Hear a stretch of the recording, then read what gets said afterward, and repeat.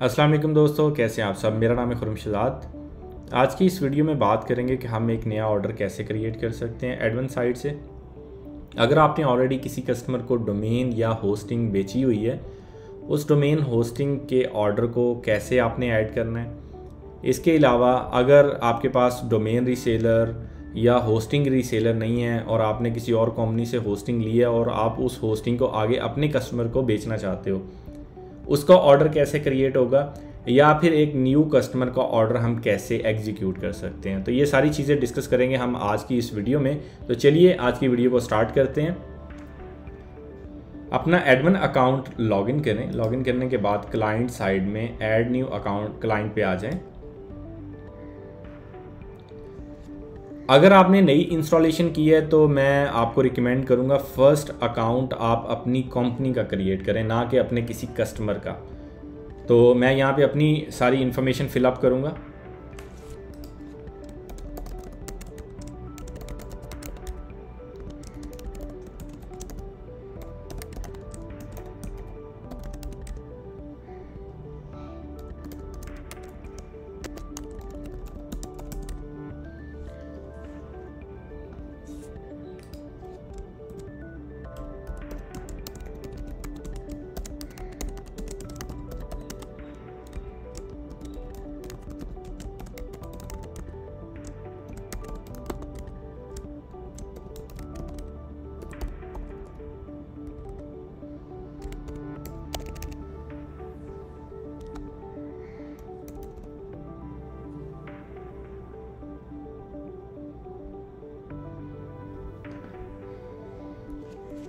सारी इन्फॉर्मेशन हमने फिल कर दी है। अब हम यहाँ पे पासवर्ड मैनुअल भी इंटर कर सकते हैं, लेकिन मैं रिकमेंड करूँगा रैंडम पासवर्ड जनरेट कर लें और ब्राउज़र के अंदर सेव कर दें, जो कि आपके जी के साथ सिंक हो जाएगा।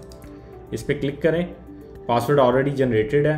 Copy to clipboard and insert के ऊपर क्लिक करें। और उसके बाद ऐड न्यू क्लाइंट कर दें।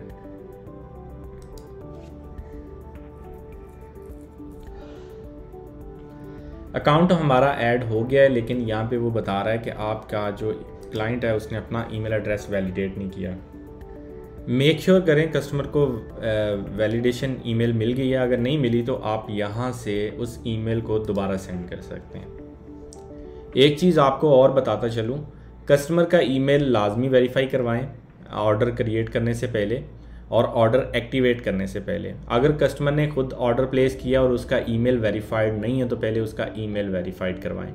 देन उसका ऑर्डर प्रोसीड करें। हमारे यहाँ पे कुछ जल्दी होती है पैसे लेने की तो उस जल्दी में हम ये ईमेल वेरीफाई करवाना भूल जाते हैं। या जो बड़ी कंपनीज़ हैं, उनके ऑनर के नाम पे हम ऑर्डर प्लेस तो कर देते हैं, लेकिन वो कहते हैं, जी, वो हमारे ऑनर का ईमेल है तो लिहाजा वो इस ईमेल को वेरीफाई नहीं कर सकते। तो आप किसी ऐसे बंदे का ईमेल एड्रेस यहाँ पे ऐड करें, जिसके साथ आप टचअप में हो, जिसको रिन्यूअल रिमाइंडर जा सकें, ताकि कस्टमर रिन्यूअल के ऊपर भी आपसे रबता कर सके। मोस्टली आप क्लाइंट को डोमेन होस्टिंग बेचते हैं, लेकिन वो रिन्यू नहीं होती। रिन्यू इसलिए नहीं होती क्योंकि क्लाइंट के साथ आपकी कम्युनिकेशन नहीं चल रही होती, और जब तक कम्युनिकेशन नहीं होगी क्लाइंट को याद भी नहीं होता, मैंने एक साल पहले डोमेन कहाँ से बाय की थी, या होस्टिंग मैंने कहाँ से बाय की थी। और पाकिस्तान में तो माशाल्लाह हम लोग ईमेल तो चेक करना पसंद ही नहीं करते। इवन कि हमें मैसेज भी जा रहा होता है, हम फिर भी चेक करना पसंद नहीं करते। ड्यू डेट गुजर जाती है देन हम कहते हैं अच्छा चलो यार, इसके बारे में सोचते हैं रिन्यू करवाते हैं। और फिर एक टाइम आता है कि वो डोमेन और होस्टिंग आपकी टर्मिनेट हो जाती है डोमेन आपकी एक्सपायर हो जाती है साइटें बंद हो जाती हैं, आपकी जो ईमेल चल रही होती हैं, वो बंद हो जाती हैं और और फिर आपका बिज़नेस बंद हो जाता है फिर हमें एमरजेंसी होती है कि भाई आज सैटरडे संडे है तो काइंडली आप इसको रिन्यू करवा दें, मैं आपको कल पैसे लगवा दूँगा। ठीक है? तो इन सारी परेशानी से बचने के लिए बेहतर है कि आप उसका ईमेल वेरीफाई करवाएँ, उसका वैलिड मोबाइल नंबर इंटर करें, ताकि एसएमएस अलर्ट जा सकें या व्हाट्सएप अलर्ट जा सकें ईमेल नोटिफिकेशन उसको जा सकें। तो अब यहाँ पे ईमेल हमने ऐड कर दी है। हमने इसको करना है अब इसका ऑर्डर क्रिएट करना है। ऑर्डर क्रिएट करने के लिए हम जाएँगे ऑर्डर में। Add new order add new order में आने के बाद आपने क्लाइंट की प्रोफ़ाइल सिलेक्ट करनी है। और यहाँ पे आपने उसका डोमेन का नाम लिखना है, जो वो बुक करना चाह रहा है। और साथ में होस्टिंग पैकेज कौन सा आप उसको बेचना चाह रहे हैं। मैं स्टूडेंट पैकेज बेचना चाह रहा हूँ। डोमेन का नाम लिखने के बाद आप इसका बिलिंग साइकिल सेट करेंगे कि ये आप उसको किस हिसाब से पेमेंट चार्ज करना चाह रहे हैं। फॉर एग्जांपल मैं उसको एनुअली सात डॉलर की बजाय टेन डॉलर चार्ज करना चाह रहा हूँ तो मैं यहाँ पे लिख लूँगा टेन ठीक है?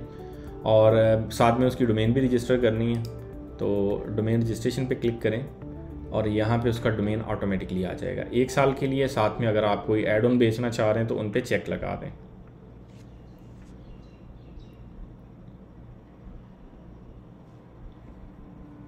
अच्छा ये जो मैंने अभी सारा फॉर्म फिल किया है, ये उन हजरात के लिए जो कि एक नया ऑर्डर एग्जीक्यूट कर रहे हैं। और अगर हमने ऑलरेडी किसी को होस्टिंग बेची हुई है, और बेची भी अभी पिछले महीने या पिछले वीक में या एक दिन पहले तो उसका ऑर्डर हमने यहाँ पे प्लेस करना है। तो फिर हमने उसकी, उससे पेमेंट भी ले ली है या उसको इनवाइस नहीं भेजना चाहते। तो आपने क्या करना है, उसको ऑर्डर कन्फर्मेशन जनरेट इनवाइस और सेंड ईमेल सारी चीज़ें अनचेक कर देनी है। इससे होगा क्या कि उसकी इनवाइस भी जनरेट नहीं होगी, उसको ऑर्डर कन्फर्मेशन की ईमेल भी नहीं जाएगी और हम सारी चीज़ों को मैनुअल मॉडिफाई करेंगे। फ़िलहाल हम एक नया ऑर्डर प्रोसीड कर रहे हैं तो ये सारी चीज़ें चेक रहने दें। एक ऑर्डर हम अगेन क्रिएट करेंगे, जिसके अंदर हम जो ऑलरेडी हमने होस्टिंग बेची हुई हैं, उनको सेट आउट करेंगे, उनको सेटल करेंगे। अच्छा चलें, इस ऑर्डर को हम करते हैं क्रिएट सबमिट ऑर्डर ऑर्डर हमारा क्रिएट हो गया है। अब अगर आपने ये है कि आपके पास रीसेलर होस्टिंग नहीं है और आपके पास डोमेन रजिस्ट्रार भी नहीं है तो यहाँ पे मेरे पास तो एक ही आ रहा है वेंडर ई होस्ट पी के जिसका मैंने रीसेलर परचेज किया हुआ है। लेकिन डोमेन रजिस्ट्रार में मेरे पास ईमेल भी आ रहा है और स्टारगेट भी आ रहा है। तो यहाँ पे मैं अपना ईमेल जो है वो सिलेक्टेड करूँगा तो यूज़र को ईमेल जाएगी कि आपकी डोमेन रजिस्टर्ड हो गई है चाहे वो आपने मैनुअल रजिस्टर करवाई है किसी और कंपनी से तो उसको एक कन्फर्मेशन ईमेल चली जाएगी। लेकिन अब यहाँ पे मेरे पास ये ऑप्शन नहीं आ रही कि मेरा जो वेंडर है वो रिसेलर नहीं है। तो आपने करना ये है कि इसको या तो यहाँ से अनचेक कर देना कि इसका मॉड्यूल क्रिएटेड ना हो। लेकिन इसमें आपने यूज़र नेम और पासवर्ड ज़रूर लगाना है। या फिर आपको एक और ग्रुप बनाना पड़ेगा, वो हम नेक्स्ट वीडियो में एक्सप्लेन कर देंगे, लेकिन आपने यहाँ पे इसको चेक नहीं लगाना। और इसके बाद आपने रजिस्ट्रार को ईमेल सेलेक्ट कर देना है और इस ऑर्डर को आपने कर देना एक्सेप्ट इसमें कोई भी एरर नहीं आएगा। आपका ऑर्डर सिंपली एक्टिवेट हो जाएगा कस्टमर के पास लॉगिन डिटेल चली जाएगी और ये ऑर्डर आपका एक्टिव है। अब आपने इसकी इनवाइस पे क्लिक करना है। और यहाँ पे ऐड पेमेंट में जाके इसको पेड कर देना है। लेकिन ये हम नेक्स्ट वीडियो में डिस्कस करेंगे। लेकिन अगर आपने कस्टमर को पेमेंट रिसीव कर ली और उसको पेड करना चाह रहे हैं तो आप यहाँ से उसको पेड कर सकते हैं। अब आते हैं हम सेकंड ऑर्डर की तरफ़, जो कि हमने ऐड करना है। सेम पर्सन के अकाउंट में।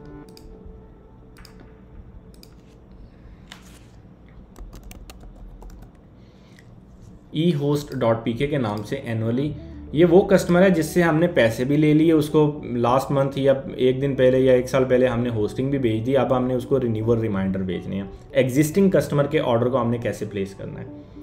तो ये मैंने इसका सारा ऑर्डर डिटेल फिल कर दी है। अच्छा अब फिलअप करने के बाद ये डोमेन मेरी दो साल के लिए थी और होस्टिंग मेरी एक साल के लिए थी। टोटल उसका बिल बना इतना। आप इस ऑर्डर का स्टेटस एक्टिव कर दें। कोई भी ईमेल उसको जनरेशन पे नहीं भेजें और आपने यहाँ पे इसको दो साल करके सबमिट ऑर्डर कर देना है। अच्छा ये ऑर्डर हमारा क्रिएट हो गया, यहाँ पे एक्सेप्ट ऑर्डर का बटन नहीं आ रहा। क्यों? क्योंकि मैंने उसको एक्टिव ऑर्डर कर दिया था और ना ही इसकी कोई इनवाइस जनरेट हुई है। अब पहले हम होस्टिंग जो है, इसको एक नए टैब पे ओपन कर लेंगे।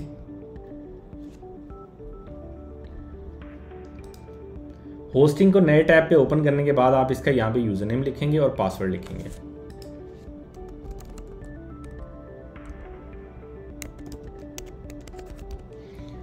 ये लिखने के बाद आप इसको सेव कर दें। अच्छा इसमें अब आपने होस्टिंग उसको बेची कब थी? वो डेट आपने सेट करनी है और उसकी नेक्स्ट रिन्यूअल डेट कब है? वो आपने सेट करनी है। ठीक है? तो होगा क्या कि जब उसकी नेक्स्ट रिन्यूअल डेट आएगी, उसके ऊपर ऑटोमेटिकली उसकी इन्वाइस जनरेट हो जाएगी। और अगर आप कहते हैं कि अगर आपने उसको दो साल के लिए बेची है तो यहाँ पे आप उसके टू ईयर के प्राइस सेट कर दें। जब बेची थी, तब आपने उससे कितने पैसे लिए थे और यहाँ पे इसको बैनुअली कर दें। दो साल के प्राइस आपके सेट हो गए। अब इसको आप कर दें सेव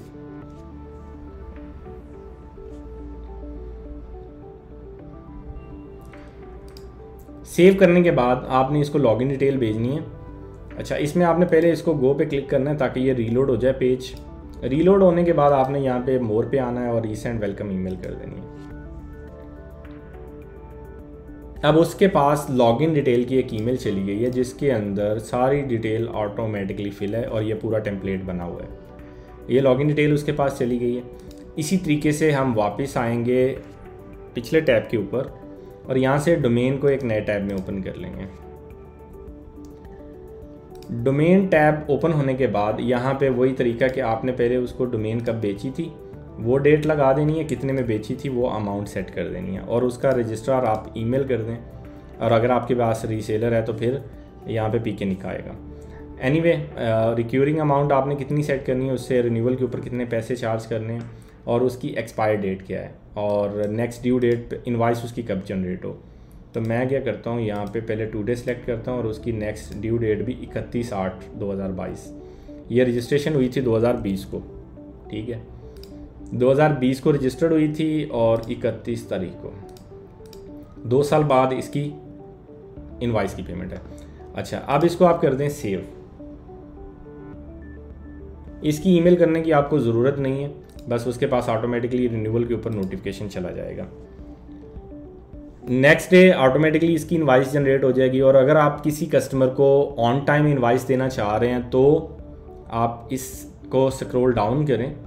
यहाँ पे इस सर्विस को सिलेक्ट करें जिसकी आप इन्वाइस जनरेट करना चाह रहे हैं। और स्क्रॉल डाउन करें, यहाँ पे इन्वाइस सिलेक्टेड आइटम का बटन आ रहा है।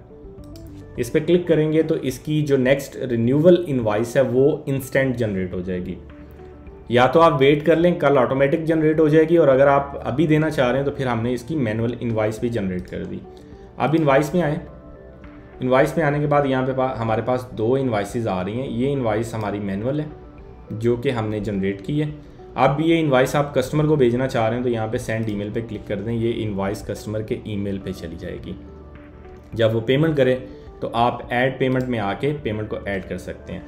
अच्छा अगर आप कहते हैं कि आपने ये सर्विस ली है और इसमें आपने उस सर्विस प्रोवाइडर को भी कोई पेमेंट की है। फॉर एग्जांपल ये जो सर्विस है आपने थर्ड पार्टी से ली है और उसके ऊपर आपका खर्चा आया है बीस डॉलर तो आप इनवाइस पेड करते वक्त यहाँ पे बीस ऐड कर दें। तो इससे ये होगा कि आपका जो प्रॉफिट है वो भी ये सॉफ्टवेयर ऑटोमेटिकली कैलकुलेट कर देगा।